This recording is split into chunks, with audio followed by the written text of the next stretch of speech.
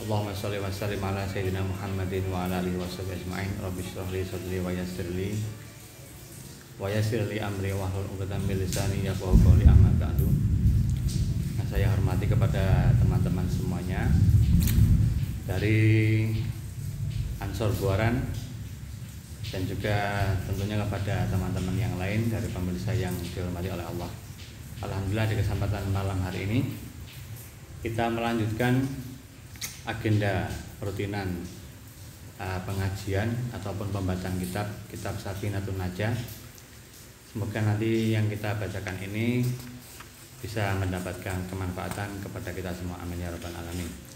Mari kita dahului dengan bacaan Al-Fatihah.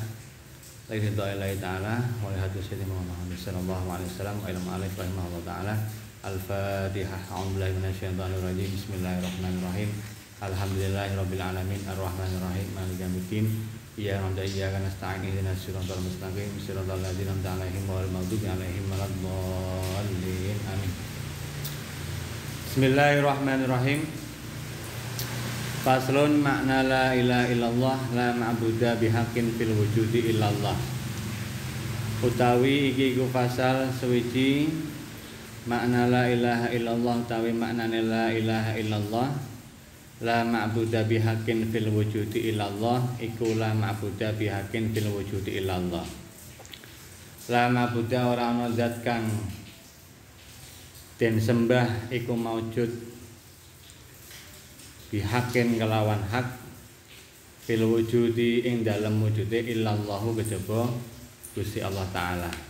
Pasal yang menerangkan makna la ilaha illallah yang berartikan tidak ada Tuhan yang disembah dengan kebenaran ataupun secara benar, secara nyata, secara hak dalam realitanya kecuali adalah Allah Subhanahu wa taala. Dan ini tidak saya terangkan karena kemarin sudah saya singgung di dalam mukadimah. Kemudian yang kedua, faslun alamatul buluhi. Faslon utawi iki ana fasal suwiji alamatul buluhi utawi pira-pira tandane balik. Tanda-tandane balik salah satu salah sun iku ana telu. Tamamu khamsa asyrata sanatan eh rupane telu niku siji sampurnane umur 15 apane sanatan taune fidakarin dalam wong lanang wal unsalan wong wadon. Wal ihtilamu lan kaping pindho e, ngimpi metu mani. Dalam wong lanang wal unsalan wong wadon. Litis aisinina kedue wong sing umure sangang taun utawa kedue songo pira-pira taun wal haidu lan kaping 3 nggih punika haid fil unsang dalam wong wadon. Nitis aisinina kedue wong wadon kang menginjak usia sangang tahun utawa kedue songo pira-pira tahun. Pasal ini menerangkan tentang tanda-tanda balik. Jadi seorang yang akan disuruh untuk ibadah terutama sholat ini harus mengetahui tentang masalah-masalah kebalikannya. Dan ini balik ini ada tanda-tandanya dan ada tiga. Pertama adalah secara usia. Secara usia ini 15 tahun. Apakah itu laki-laki ataupun perempuan? Kalau sudah usia 15 tahun meski tidak keluar mani meski dia tidak haid umpama ada wadon seorang perempuan nggak ada enggak ah, mengeluarkan haid atau ada seorang laki-laki belum pernah sama sekali keluar mani di usianya yang ke-15 tahun maka dia dihukumi balik.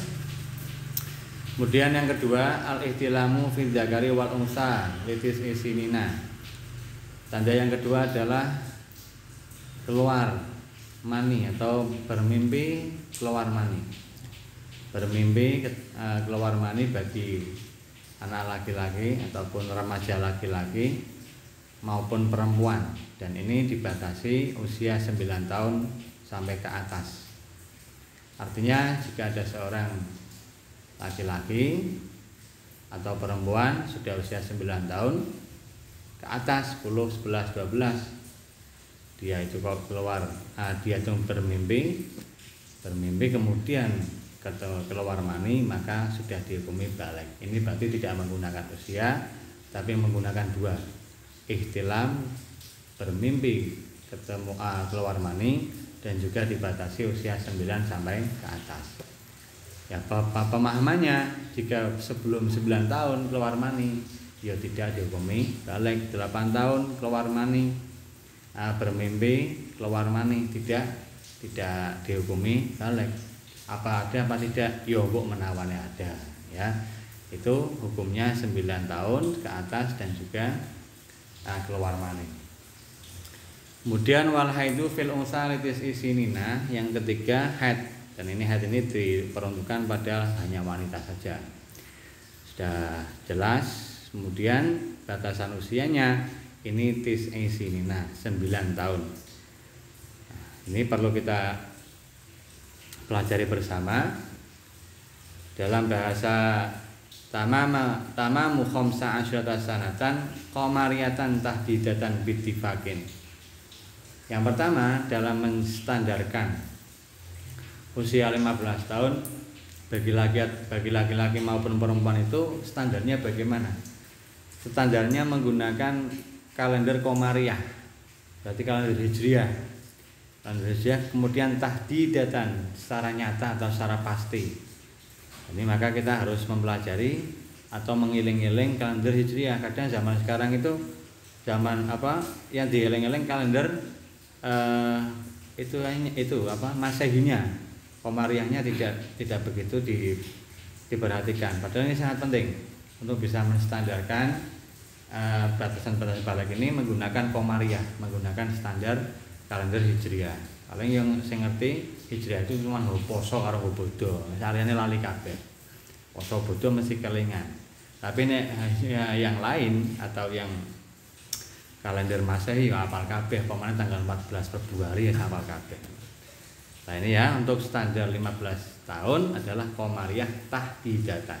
Komariah ah, komariyatan tahdidatan secara kalender Hijriah semisal dulu tahun berapa Hijriahnya cok lalen gue ya. Ketika anak lahir itu berapa kalender Hijriahnya ini kadang yang ditulis adalah uh, kalender Masehinya nah ini ya uh, Hijriahnya ditulis Masehinya ditulis. Supaya nanti umpama sudah menginjak 15 tahun secara komariah dan tahdidatan ini bisa diketahui oh ini si anak sudah balik. Meskipun apakah dia sudah keluar mani atau tidak. Kemudian yang kedua al ihtilamu. Ihtilam itu bermimpi keluar mani. Ai al imna'u. Tegese uh, ngetokake mani wa ilam yakhruj al mani minaz zakari ka'an ahasa bi khurujihi fa amsakahu. Dalam mimpi bertemu uh, ber uh, mengeluarkan mani, mimpi mengeluarkan mani ini tidaklah harus mani itu akan keluar wa illam yakhruj al mani meski tidak keluar maninya ini dihukumi balik. Karena hasabi hurujihi fa amsakahu. Seperti hanya orang uh, akan mengeluarkan mani kemudian dipegang ataupun diempet bahasa Jawa nih sehingga mani kuwi mau keluar. Padahal tadi sudah ada eh, tanda-tanda uh, untuk uh, untuk bisa mengatakan itu mani akan keluar. Ya semisal kaya taladus pena. Kemudian ya sing ngarane Pak Anutu mani ya mesti uh, dengan rasa yang terengginas begitu. Sudah ada tanda-tanda seperti itu. Ini akan keluar. Kemudian kok dipegang nggak jadi keluar. Ini dikatakan balik apa tidak? Dikatakan bal balik. Karena sudah ahasa sudah ada rasa-rasa.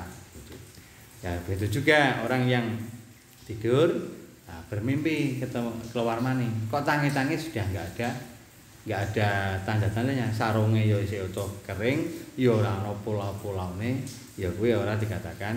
Nah, ini tetap dikatakan orang yang balik karena sudah ada ahasannya gitu ya. Sawaun kharaja min al mutad aw al kharaja min al mutad aw mal insidati asli baik itu keluar dari eh, jalan-jalan uh, yang sudah biasa yaitu antara kubul ataupun bukan dari Dakar tapi dari area sekitarnya. Apakah itu di bawah pusar? Pokoknya di bawah pusar ya. Sawaun fi naumin aw dotin bijimain awarihi baik itu keluarnya itu dalam tidur ataupun dalam yak doh dalam tingkah tidak tidur tingkah seperti ini ya. Jadi ono wong turu ngerasa penak. Nah kemudian kok tidak keluar mani tidak ada wujud maninya ya. Ini kalau pemahaman saya ini dihukumi bal balik. Sebab apa? Tadi kaan ahasa bihuruji orang sudah um, merasa akan keluar mani kemudian di dipegang nggak jadi keluar. Kemudian ini sawon karena fenomen au yang baik itu dalam tingkah tidur ataupun dalam tingkah tingkah yang tidak tidur. Tingkah seperti ini kita ya dalam keadaan yang seperti biasa ini. Itu jadi yang kedua istilah kemudian batasannya tadi 9 tahun ke atas komaria komariatan tahdidiyatan indal bajuri wa syirbini Menurut Imam Al-Bajuri ya ini juga standarnya menggunakan standar komaria artinya 9 tahun ke atas ini 10, 11, 12 juga menggunakan kalender kalender Hijriah Kemudian pendapat yang kedua waladi ata itamad Ibnu Hajar wa Syekhul Islam annaha takribiyatun. Kalau tahu dari pendapat yang kedua ini untuk menstandarkan laki-laki atau perempuan ketika ihtilam akan dihukumi dia balik ataupun tidak dengan 9 tahun ini secara kira-kira saja ataupun secara mendekati umpamanya usia 9 tahun kurang dua hari apa tiga hari ya tidak masalah ini ya tetap dikatakan tetap dikatakan balik Nah, kalau yang atas pendapat pertama itu harus sesuai, berarti harus pas di none. Nah, ya, itu baru dikatakan sebagai uh, orang yang balik. Kemudian yang ketiga wal haidu fil usalitis isinina adalah tandanya adalah head. Head ini ya harus pakai laki wanita, nggak ada seorang laki-laki head. Ya. Ini jelas, ini bagi seorang perempuan saja. Ini pun menggunakan usia, usianya adalah 9 tahun. Kemudian dalam 9 tahun ini pakainya tahdidiyatan atau takribiatan standar yang jelas pasti hari-harinya atau menggunakan kira-kira saja ini jauhnya ulama takribiyatan hanya secara mendekati saja. Sehingga jika ada seseorang perempuan belum genap usia 9 tahun tapi uh, kurang dua hari umpama atau kurang lima hari dia mengeluarkan darah. Dan darah ini sudah standar dengan darah haid dalam arti minimal 20, 24 jam. Secara nuli-nuli ataupun eh, secara terpisah secara langsung ataupun secara terpisah ketika dihitung itu sudah ada 24 jam ya maka dikatakan sebagai darah haid. Biangkana nafsuha uh, akol lamin sitata asyara yoman walau bilah lotin Nah, secara takribiatan itu maksudnya umpama kurang, nah, kurangnya minimal ya, eh adalah 16 hari. Jadi umpama 9 tahun kurang 16 hari.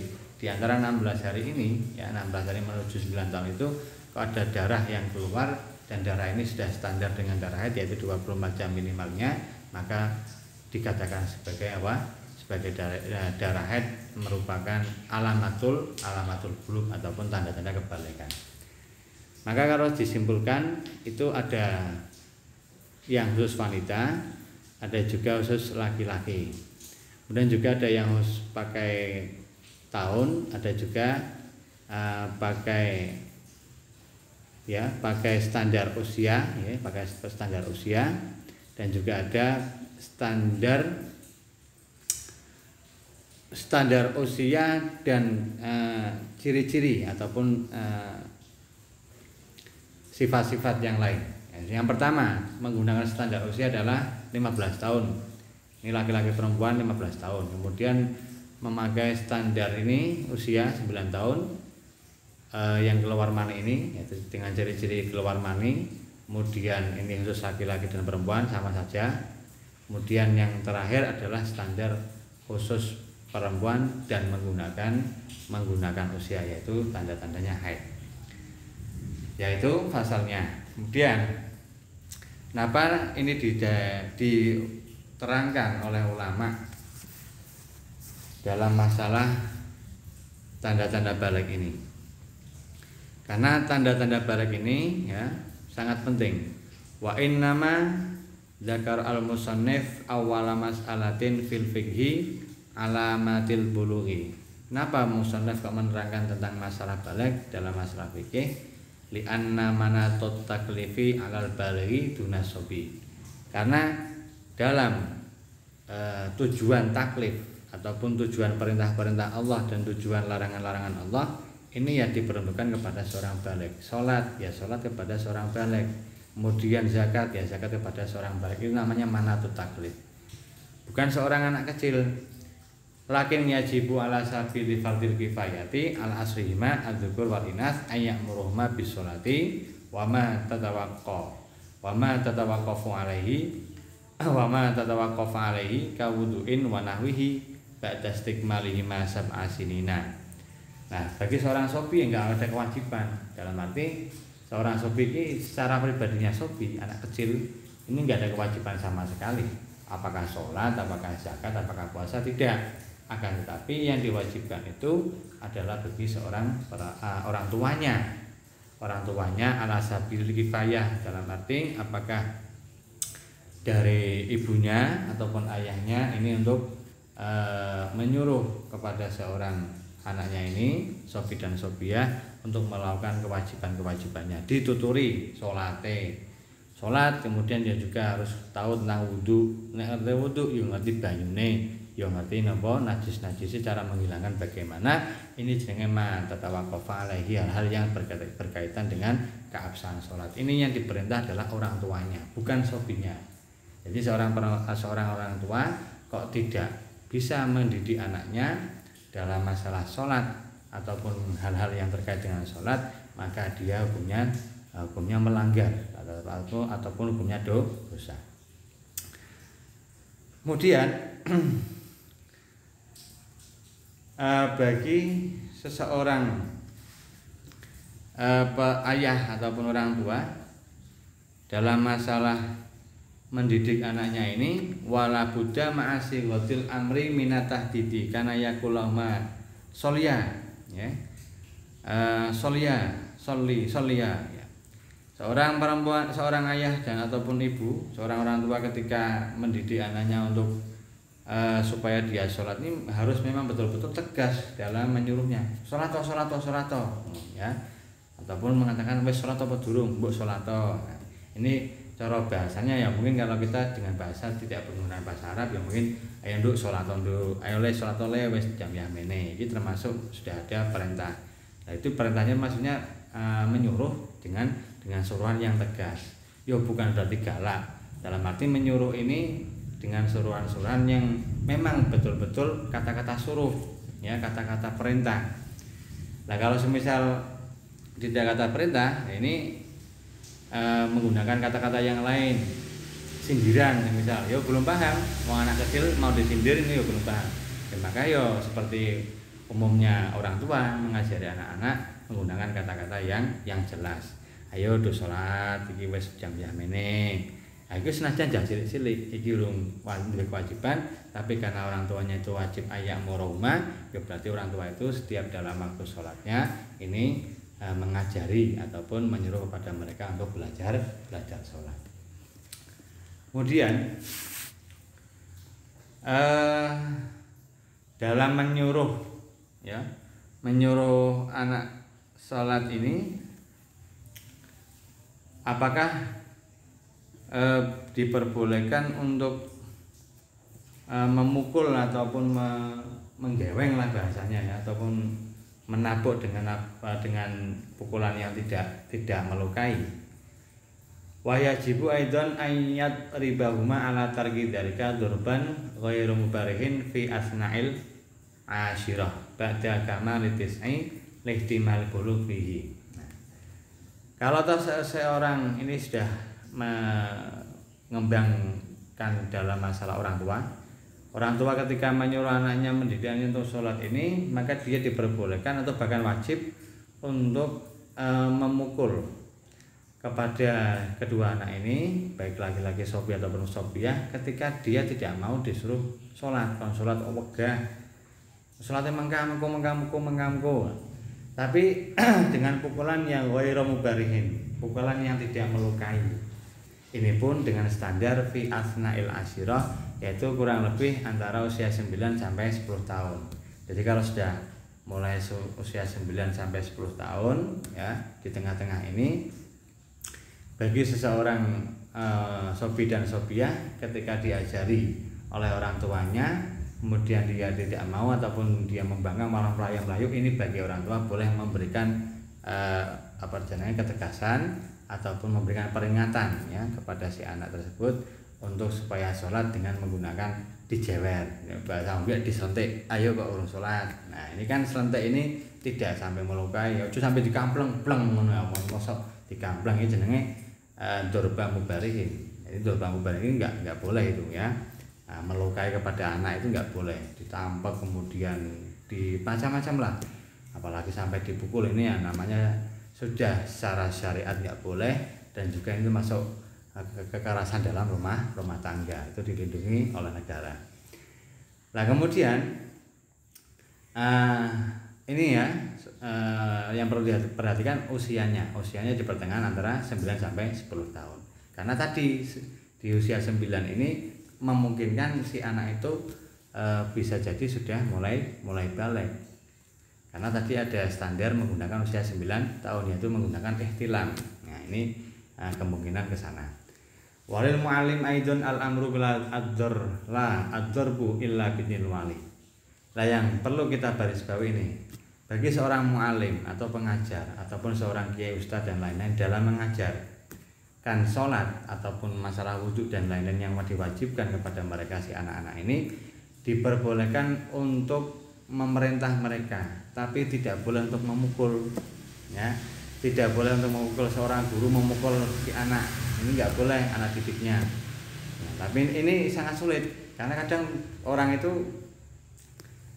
nah, si anak-anak itu kalau sudah rame di kelas umpamanya serangan ora guyon ora merhatikan podo guyon ini kadang seorang guru terpancing emosi. Nah emosi yang berlebihan kok sampai dia itu mem memukul ini ya tidak diperkenankan. Sebab ini walil mu'alim al amru landorbu boleh atau kewajibannya adalah memerintah mendidik tapi tidak tidak boleh untuk memukul illa biidnil wali. Kecuali uh, dengan izinnya seorang wali. Misal walinya ngoleh nih ya. Ya wis anakku tak sekolah kene kene nek umpama nakal ya mau dijewer Pak. Ora apa-apa. Lagi sudah tidak masalah. Tapi semisal kok umpama anakku aja nang kene ya. Anakku aja diapa-apake. Ya memang enggak masalah. Itu karena sudah haknya seorang seorang wali. Jadi diajar tok. Tapi kok semisal menggunakan pelanggaran-pelanggaran ya dengan uh, apa namanya sanksi yang bukan bukan berupa pukulan ilmu barihin bukan menggunakan apa namanya uh, kekerasan tapi apakah disuruh berdiri ataupun disuruh nyapu dan lain-lain ini namanya uh, taksir-taksir yang ghairi mubarihin. Maka yang terjadi di, zaman sekarang ini kadang seperti itu. Satu walinya itu orang geleman anak dia apa-apa oke tapi anak yang beling. Kemudian yang kedua guru nih kadang mudah terpancing emosi ini yang nggak nggak ketemu. Satu musim misal ada sana sekolah ya, beling. Oh dikajari sembayang sembayangnya megah terus. Nah ini kadang seorang guru mamane wae bocah nakal dislenteki ngono. Wong tuane ora trimo. Nah wong tuane ora ora trimo. Lagi akhirnya menjadi kasus yang seperti itu. Nah maka kalau seperti itu harus ada kesepakatan. Jika ada seorang anak mau e, menitipkan ke madrasah ataupun ke tempat-tempat pendidikan agama mestinya sudah ada kesepakatan bahwa jika melanggar hal-hal yang tercantum dalam aturan ini maka seorang wali ataupun ada orang tua dari anak didik harus legowo ataupun harus terima dengan sanksi yang ada. Umpamanya kok sanksi itu termasuk di jewer. Nah, berarti kan sudah ada tercantum di sana. Kalau sudah tercantum di sana, ya maka umpama sudah ditandatangani oleh orang tua, orang tua tersebut, ya maka si guru ataupun si pendidik boleh menjewer ataupun yang yang lain-lainnya. Kenapa? Karena sudah ada kesepakatan berarti sudah ada izin. Lah mana tidak ada izin ya seperti tadi, maka menggunakan sanksi-sanksi yang yang lainnya. Kok masih balo wae yo sanksinya terakhir uh, harus dikeluarkan ya, harus dikeluarkan itu mesti ada dalam pendidikan itu mesti ada.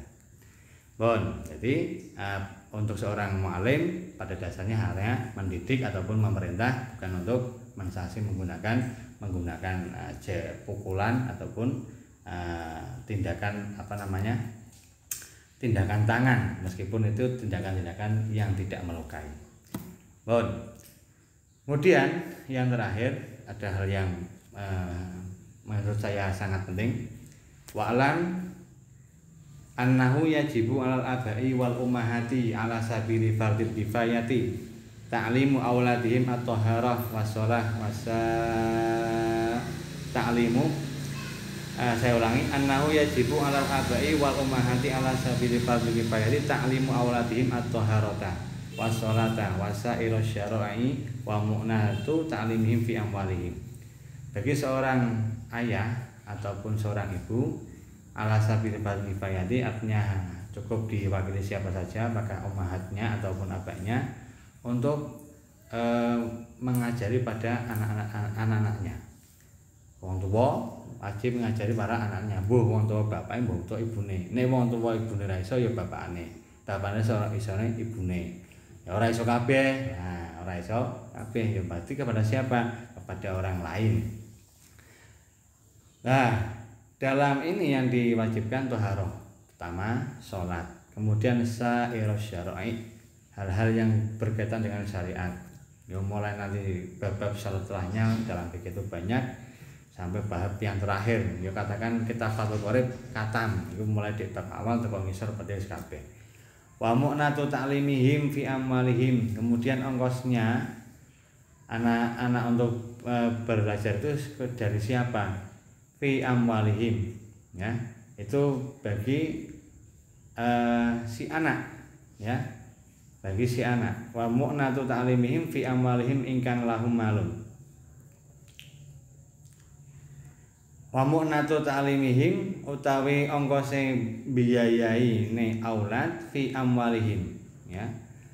Iku dari hartanya si anak. Ingkang lamun ana lahum kedue aulad apa malun bondo kalau memang anak-anak itu memang punya harta banyak. Bocah sugi cilik tapi uh, akeh lagi dari mereka. Fa'ilam yakun fa fi mali abaihim. Nek umpamane kok tidak punya si anak ini ya pada lumrahnya anak enggak ada. Ya pada lumrahnya. Itu tadi yang wairu lumrah ya, yang tidak lumrah.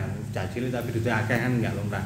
Nah ini kalau yang lumrah bagaimana? Ya fa fi mali abaihim. Bagi uh, ayahnya hartanya dari ayahnya biaya untuk bulanannya dan seterusnya. Itu dari ayahnya fa'ilam yakun fafi mali ummahatihim. Oh bapak eran duwe. Bapak eran duwe sanggup gue nyangoni anaknya umpamane kaya ngono. Yo badi eh, kepada siapa? Bagi ibunya. Dari ibunya aduh pak pak punya sekolah ke orang kok sanggup gitu pak? Ya bapak yo sampan to bu sampan sing duwe nah iya anaknya nah, Brian. Nah Pak ilam yakun fafi mail baitil mal. Umpamanya kok tidak ada juga ayahnya nggak ada nggak ada biaya umahatnya juga nggak ada biaya ya maka di baitul mal. Baitul mal itu kalau zaman dulu adalah kas negara. Kas negara zaman dulu eh, namanya baitul mal. Sekarang mungkin sudah tidak ada tapi meskipun tidak ada pemerintah sudah memberikan kebijakan-kebijakan dengan masalah dana-dana untuk untuk untuk taklim ataupun untuk belajar. Nah ini maka dari, dari dana itulah. Maka anak-anak yang tidak mampu didaftarkan ke sana. Ataupun ada apa itu kartu Indonesia Pintar ataupun yang lain-lain. Nah ini sebagai apa tanggung jawab pemerintah.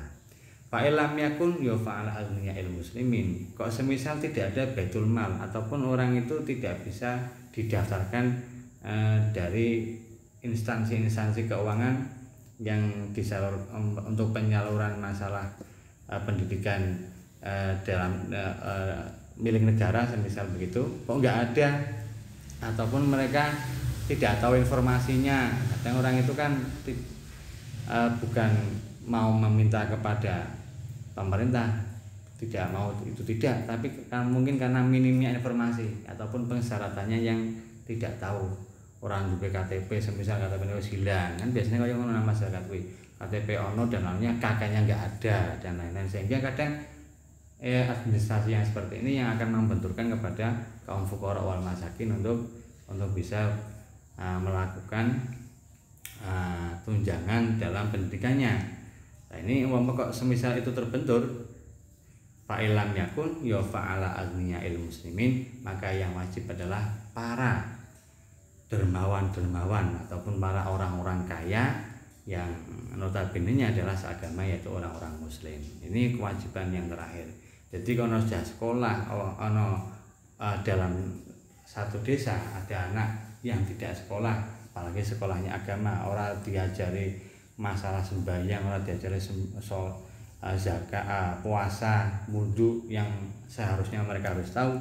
Kok tidak disekolahkan tidak ditpg ataupun tidak diduniakan karena masalah faktor biaya dan memang seorang tuanya itu keluarganya tidak mampu dan juga tidak ada bantuan-bantuan dari negara maka orang-orang kaya yang ada di sekelilingnya itu hukumnya dosa semua ya. Makanya ala sabili fardil kifayah. Maka sangat bagus jika pemerintahnya itu sudah ada bantuan ya. Kemudian juga ditambah dari agniya al muslimin orang-orang yang kaya dari orang-orang muslim untuk bisa membiayai kepada kepada mereka. Ini yang bisa saya sampaikan seperti itu ya jadi uh, secara kesimpulan tadi tanda-tanda paling sudah saya singgung. Kemudian untuk masalah taklim ini taklim itu ada kalanya dari orang tua ada kalanya dari orang lain dari mualim. Kemudian kalau dari seorang mualim ini nggak boleh untuk melakukan, uh, melakukan dorbu pemukulan kecuali dengan intinya wali ataupun kesepakatan bersama. Kemudian juga nanti dalam masalah memberikan taklim kepada anak-anaknya ataupun anak didik ini secara biaya ini mestinya uh, dari keluarga baik dari anak itu tersebut ataupun dari orang tuanya ayah ataupun ibu. Lah kalau toh dari mereka itu keluarga yang terbelakang terbelakang ekonominya maka ini adalah dari negara. Kalau negara cukup semisal nggak ada juga maka kepada agniyail muslimin. Ini punya fardu kifayah. Mau itu aja yang kami bisa sampaikan